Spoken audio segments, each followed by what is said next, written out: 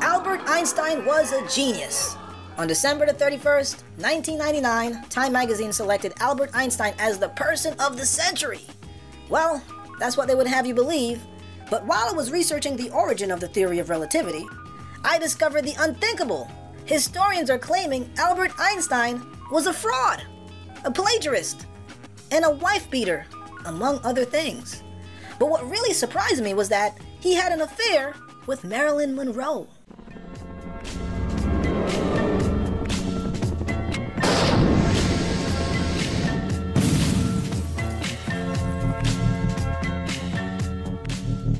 So, first, we have to talk about the fact that Einstein was not a genius. On the website Neatorama, they have a blog post titled 10 Strange Facts About Einstein.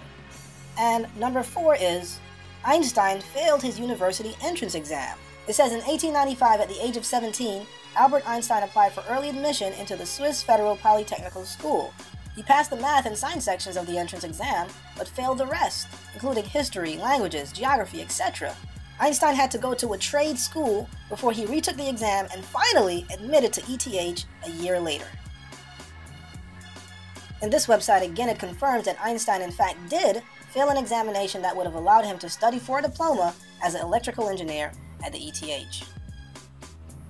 So, on this website, PBS 13, in the article Einstein the Nobody, they're going to talk about people having to pull strings to get Einstein a job and how bad Einstein's grades were.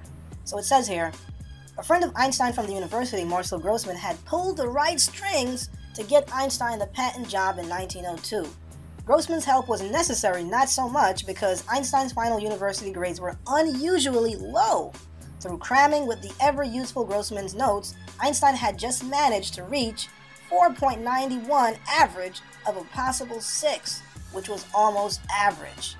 But because one professor, furious at Einstein for telling jokes and cutting classes, had spitefully written unacceptable references. Teachers over the years had been irritated by his lack of obedience, most notably Einstein's high school Greek grammar teacher, Joseph Degenhardt, the one who has achieved immortality in the history books through insisting that nothing will ever become of you. Later, when told it would be best if he left the school, Degenhardt had explained, Your presence in the class destroys the respect of the students. Now, here it says after Einstein had gotten the job at the patent office, he had applied for a promotion from third class to second class.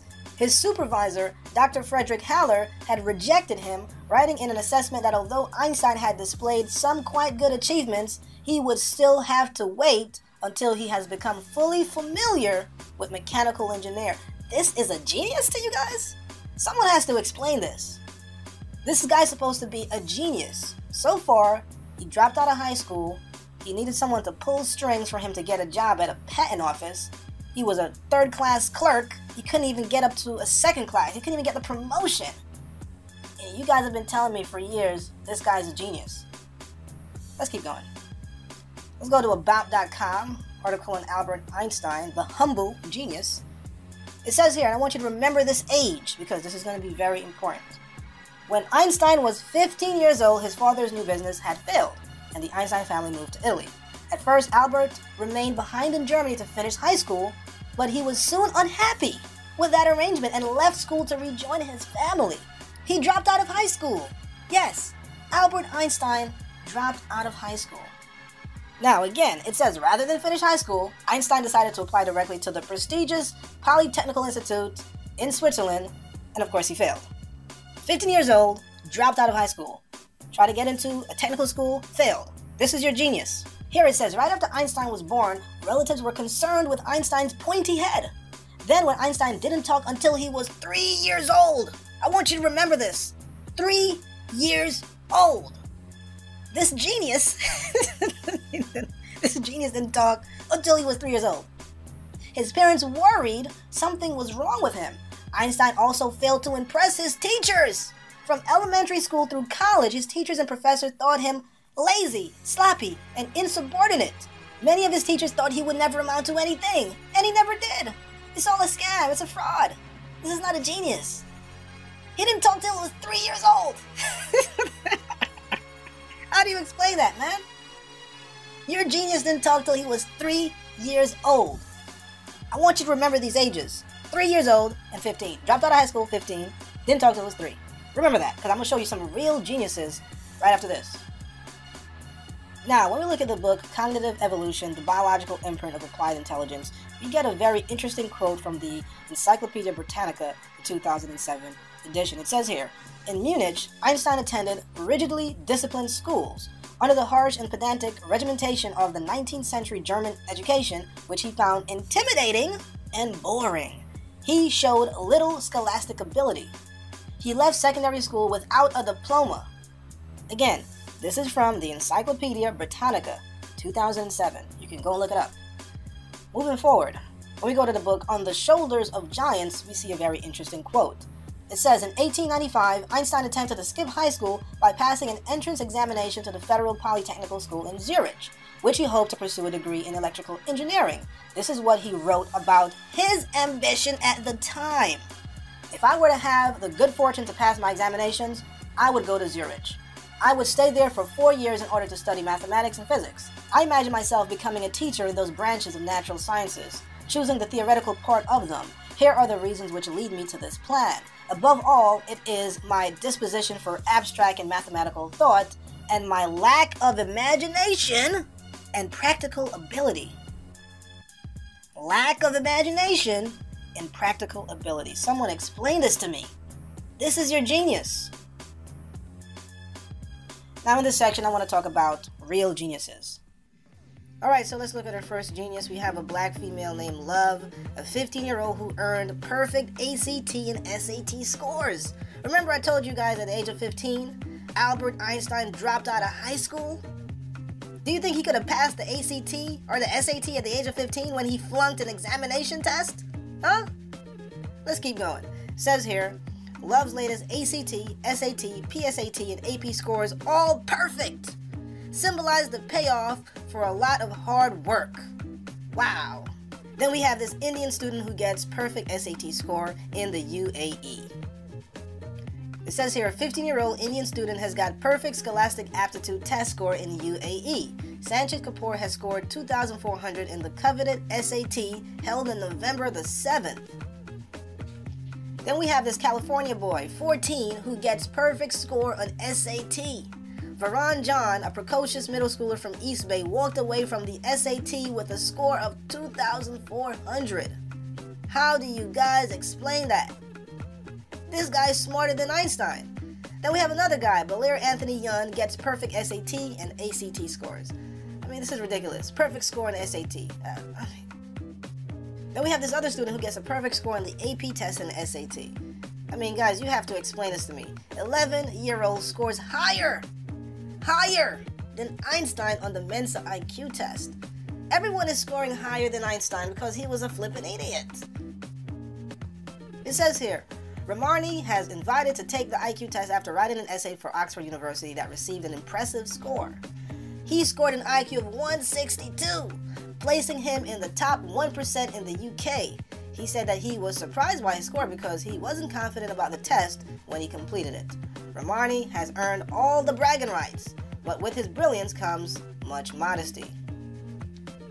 Then we have this young fella, Joshua Beckford, the youngest kid to attend Oxford University. You can Einstein dropped out of school at the age of 15. He couldn't talk till he was 3. This guy can't be more than 10. Huh? Maybe 7. Let's look at the age. Age 8. What? Talk to me. Age 8, you're probably practicing the sport or was preparing for the third grade. Well, meet an 8 year old with a twist, Joshua Beckford. This particular young boy is by far not your average 8 year old. He studied at Oxford University at the age of 6. At the age of 6, Einstein just started talking at 3. I mean, he could barely. he could barely string words together. Okay? All right, so He's face of he's the face of the National Autistic Society's Black and Minority campaign. It's put into place to highlight the obstacle that people with black minority background often encounter when trying to obtain the access to support and services they need. Beckford is one of a kind. He is too advanced for his required school grade, so that led him into being homeschooled. He excels in math, foreign languages, history, philosophy, IT, and science. Professor at City University named him one of the smartest kids in the world. Einstein dropped out of school. He couldn't pass an examination test. And later we're going to talk about his plagiarism. I mean, this is sad that you guys keep talking about Einstein when you have people that are smarter than Einstein, didn't plagiarize, weren't wife beaters, weren't sociopaths, right? And the list goes on. But let's look at this young girl here. Three year old! Three year old girl scores off the charts in the UK. At three year old, Einstein just started to talk. How do you explain this to me? How do you explain this to me, man? This is a genius, right? Three year old scores off the charts in IQ tests as she teaches herself Spanish on an iPad. At the age of three, Einstein couldn't even talk. He couldn't buckle his shoes. and y'all calling him a genius. Y'all better stop that nonsense, man. Now here we have four-year-old genius invited to Mensa. This is four-year-old. A year after Einstein could talk. She's already what? She learned the alphabet at four months of age. Then at 18 months learned numbers in Spanish. The precociously intelligent youngster claims she's smarter than her parents and both mom and dad agree. Here we have 12-year-old genius goes to Morehouse College. Huh? 15-year-old Einstein dropped out of high school, and you got a 12-year-old going to college. How do you guys explain that? You're talking about genius? Cut it out, man. This is ridiculous. Let's keep going. This amazing African American student, 12 year old Stephen Stafford, was primarily homeschooled by his mother. This mathematics and science prodigy was accepted to Morehouse College. He's currently in his second year and he is still excelling. Wow. Let's talk about Einstein being a damn fraud and plagiarist, man. Alright, so in this article from the website Veterans Today, it asks a question Was Einstein a wife beater, womanizer, plagiarizer, and eugenicist? They continue by saying the mathematician Roger Schlafly has recently revived the long forgotten argument that much of what is credited to Einstein has been the work of others. The noted mathematician Henri Poincare and physicist Hendrik Lorentz wrote about relativity long before Einstein ever thought about the topic. Einstein just made them popular without giving credit to whom it is due. They continue by saying this point was articulated by a British mathematician and historian of science, Sir Edmund T. Whittaker, who wrote in his work A History of the Theories of Ether and Electricity that the equation E equals mc squared was the creation of Lorentz and Poincare, which is a French name. Poincare, right? I was about to say Poincare. Poincare. Poincare. Huh? What do you guys have to say about that? Alright, so Einstein's friend and colleague Max Born had even tried to persuade Whittaker not to publish his opinion. They're trying to cover up the truth. But Born himself later admitted that it was highly plausible that Einstein got his idea from Poincare. Similar points were made by Russian physicist A.A. Longzhenov in his book Henri Poincare and the Relativity Theory.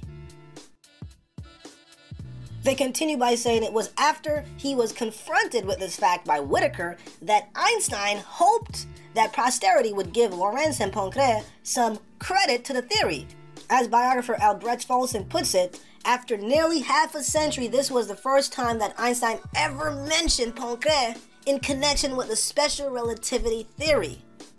Wow. And here's a picture of Hendrik Lorentz. This is who Einstein stole from, this old man. So here again, when we go to Wikipedia, it says he also derived the transformation equations subsequently used by Albert Einstein to describe space and time. Look, man, Einstein is a friggin' thief.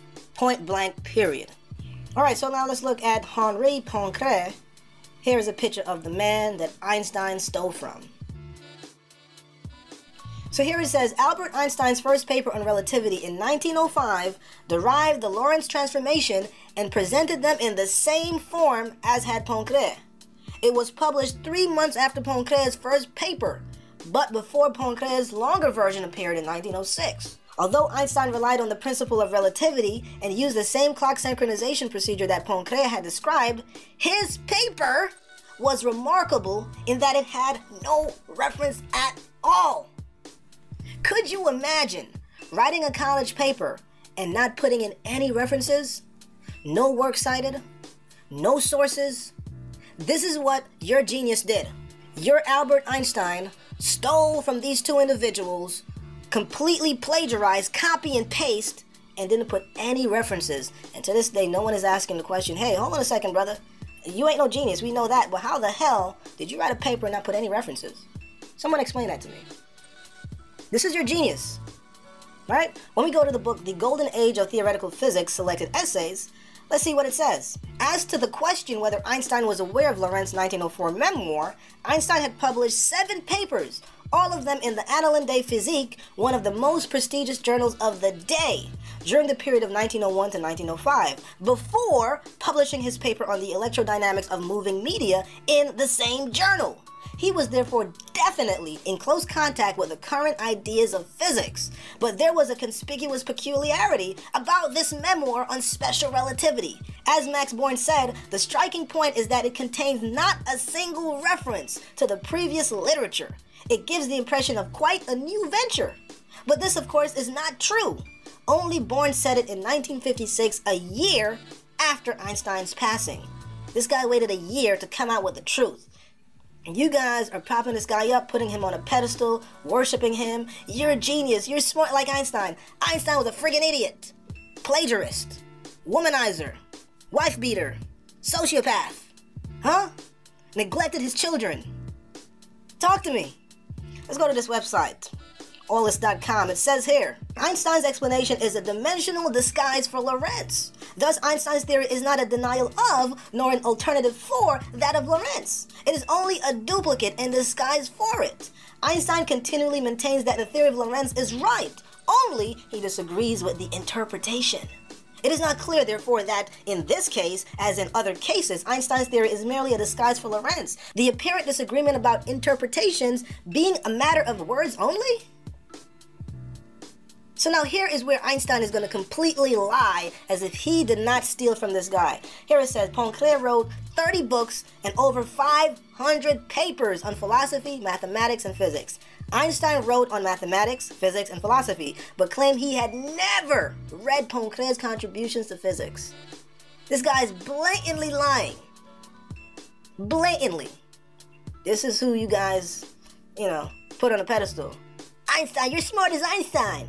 Get the hell out of here. Here we go again.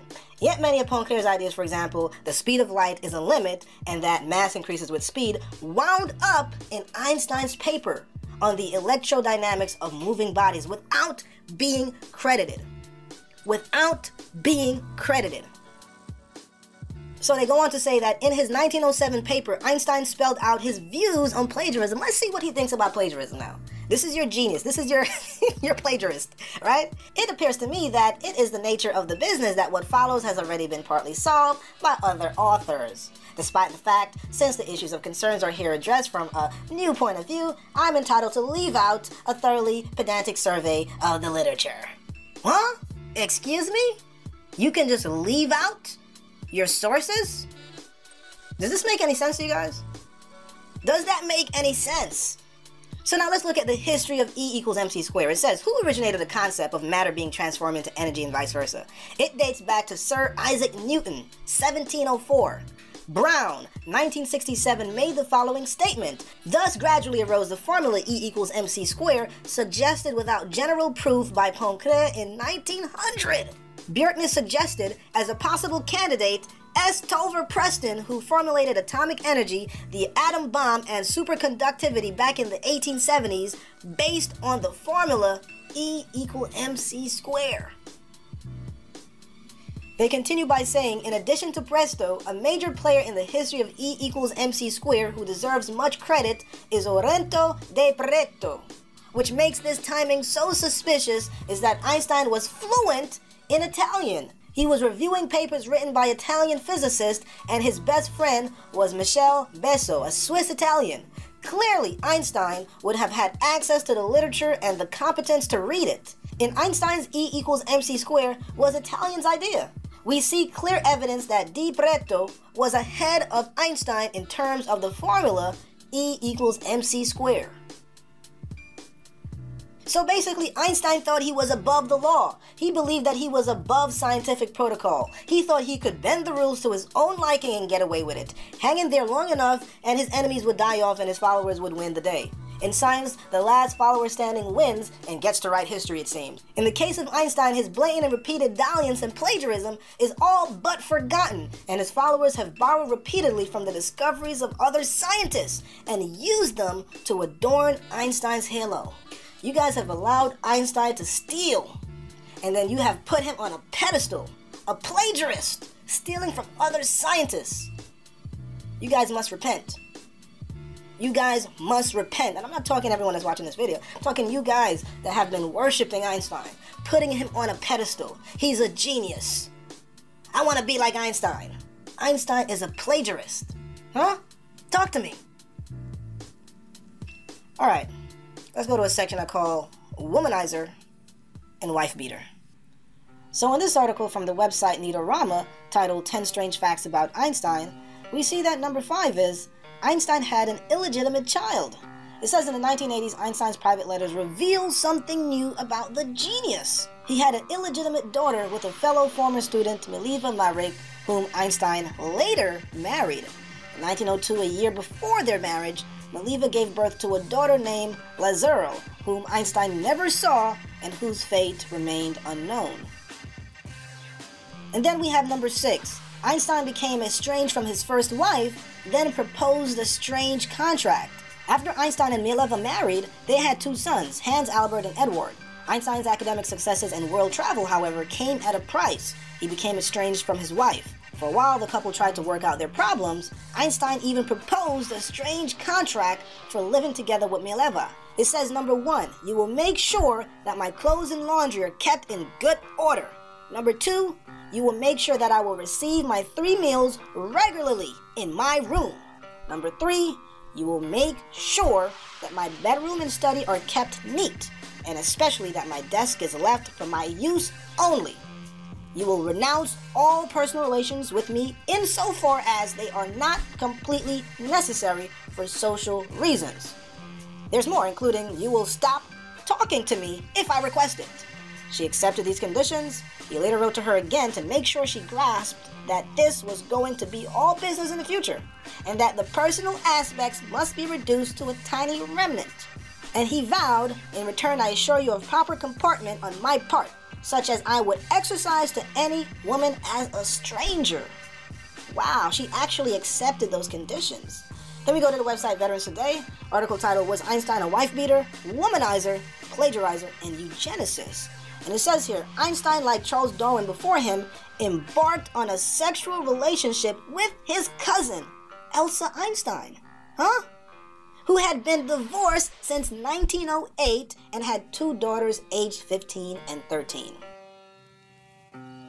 Now, going back to the website Neatorama in the article 10 Strange Facts About Einstein, number 8 is Einstein was a ladies' man. It says after Einstein divorced Mileva, his infidelity was listed as one of the reasons for the split. He soon married his cousin, Elsa Lowenthal. Actually, Einstein also considered marrying Elsa's daughter from her first marriage, Ilse, but she demurred.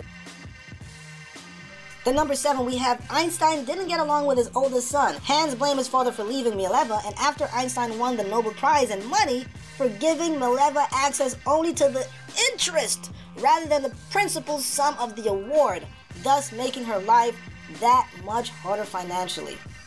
This is your genius, right? Then on the website, The Voice of Nation, we have an article titled History's Greatest Physicist, Albert Einstein, used his wife for sex and indulged in incestuous affair with cousin. Here it goes on to say his wife, as good as a maid, his children were just a product of sexual intercourse, not love. Voted the greatest physicist of all time by Physics World and revered for his intellectual and scientific contributions, Einstein was from inside a selfish man. Now, when we look at the website glamour.com, we have an article titled Five Things You Didn't Know About Marilyn Monroe. It says here, number one, Marilyn may have had an affair with Albert Einstein. In the late 1940s, the actress Shelley Winters shared an apartment with Marilyn Monroe, and in her autobiography, Winters claimed that Monroe had hinted about a dalliance with the genius. When we go to the website funtrivia.com, we have someone asking the question Did Marilyn Monroe and Albert Einstein ever meet? The person said yes, they did. Just like Marilyn and the Kennedy brothers, Marilyn and Einstein not only met, but had affairs and were actually quite fond of each other. Here is one of the many links. So, again, you can go ahead and check that link out. And then we have a blog post about their affair titled Marilyn Monroe and Albert Einstein Their Secret Love Affair. You can go and check that out.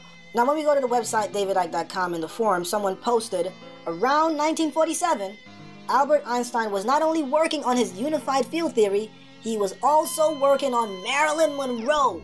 Yes! Even though the world's greatest scientist was 47 years older than the 21 year old budding actress and model, Einstein was one of Marilyn's ardent suitors. Is this relationship between the 20th century's best known male and female icons documented?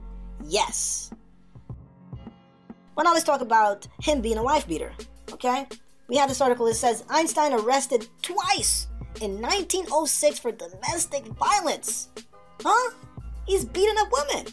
It goes on to say, in startling new evidence uncovered by biographer Hans Grossman, it appears that Albert Einstein, the revered scientist often acknowledged as the father of modern physics, was arrested twice in 1906 for domestic violence towards his wife at the time, Mileva. Now, let's go on further. Many people think that Einstein was very kind and congenial fellow, explains Grossman, but the fact of the matter is that Albert Einstein was a habitual and compulsive adulterer who fathered some 15 children out of wedlock and a liar and often beat his wife for what appears to be the most insignificant matters. Huh? What do you guys have to say about that? This is your genius beating up women. A plagiarist, wife beater, and womanizer. Huh? The second report, continues Grossman, indicates that one morning, as Einstein exited the bathroom, his wife wished him a good morning, at which again he flew into a fiery rage, pushing her in the face repeatedly and gouging her eyes.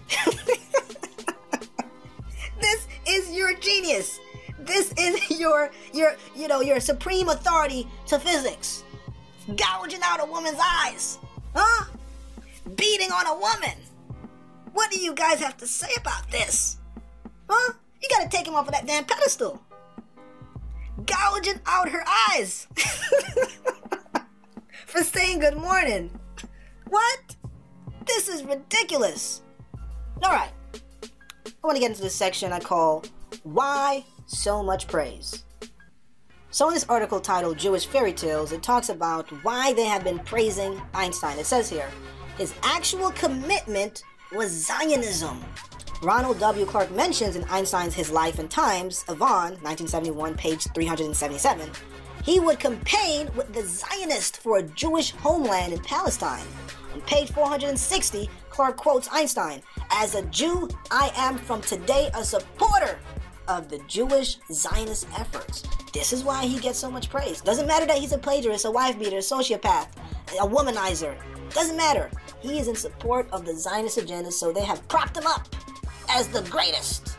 Huh? A genius when he's a freaking idiot. Goes on to say that Ben Gurion offered Einstein the presidency of the newly founded state of Israel, but Einstein declined. They were offering him to be a president of Israel because he was in support of their agenda. Talk to me. Come on. They put this clown's face on their currency.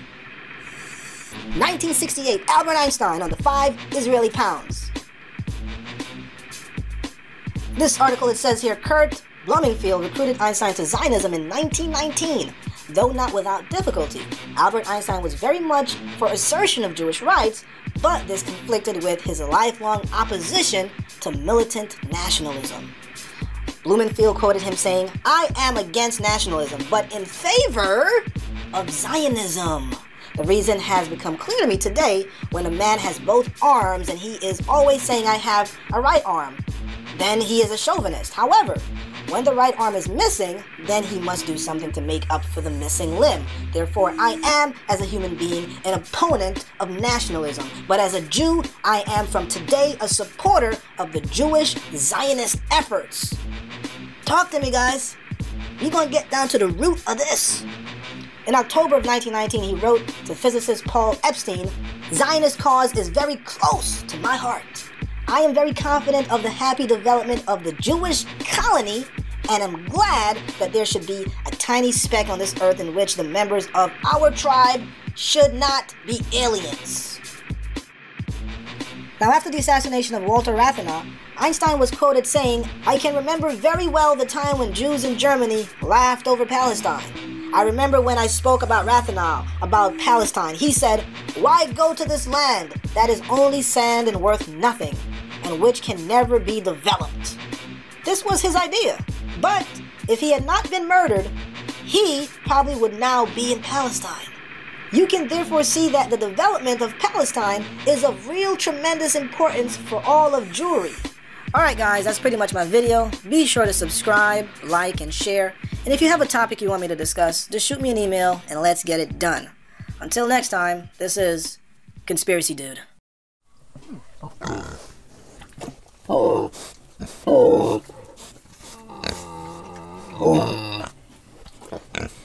Oh. Oh.